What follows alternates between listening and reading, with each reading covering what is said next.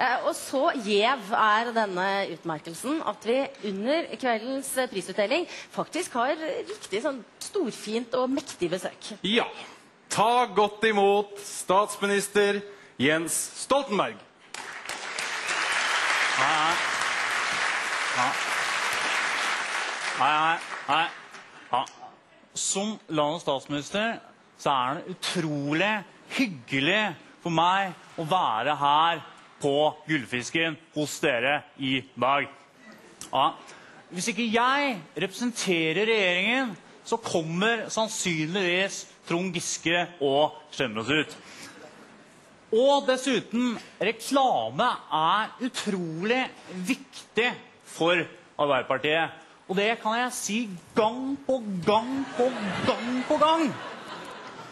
Og reklamebransjen, reklamebransjen har gitt oss mange flotte slagord.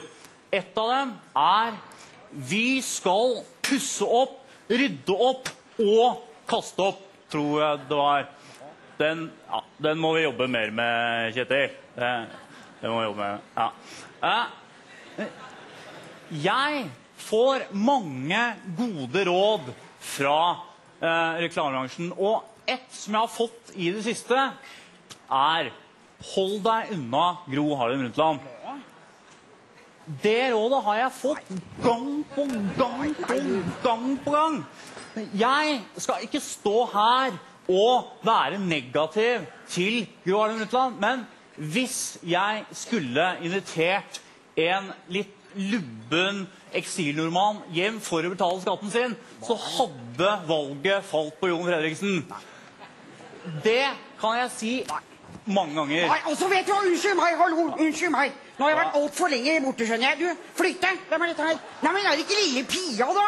Hei, Pia! Og så er det deg også, jo. Hei sann. Ja, nei, og du, Jens, du, du kan bare ta gå, du nå.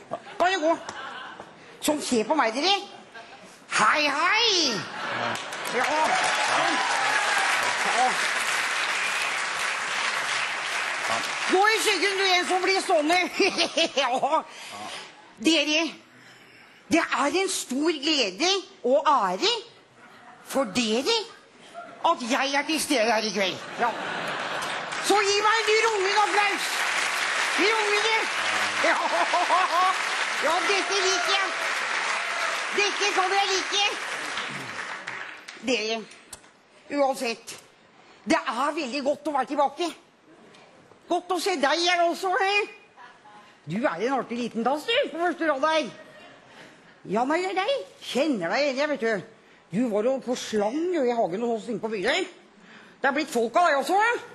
Ja, det går ikke dårlig. Men dere, hvordan allting er. Det er som en klok kvinne en gang sa. Det er typisk Gro å være norsk. Og når, det er veldig, når jeg ser at det er veldig mange eh, reklamefolk i salen her, så har jeg bare én ting å si. Jeg er ledig for snøjobbing. Ja, hvis det er noen som Dere vet at det, når jeg ikke er ute og redder verden, så kan jeg jo alltids ta et lite reklameoppdrag i og ne. Det må jo være lov. Jeg blir tørst, jeg. Å, fytti rakkeren, det er sånn det smaker. Ja. Sånn har vi den der. Ja, dere. Ja. Det er ikke merkelig at jeg er talskvinne for Pepsi, egentlig. Når vi ser, ja, når vi ser på de kvinnelige, eh, disse kvinnelige eh, før meg, så har vi altså Janis Jackson, vi har Britney Spears, Gro Harlem Brundtland. Det er en helt naturlig utvikling. Ja. Og som disse jentene, så har jeg også nemlig Hva skal man kalle det? Hoftevrikken på plass. det skal dere få se nå. Men jeg bare si en ting. Disse sexy virkene dere nå kommer til å se fra mine hofter, de trenger dere ikke å takke meg for. De kan dere takke Ullevål sykehus og norske skattebetalere for. Da. It, baby! Kom igjen! Jens, nå kommer du her. Kom igjen. Ja. Framover, bøy deg framover. Og så går vi. Dette er moro. Sånn, gå, da. Sånn. Så spiser vi, så spiser vi, så går vi.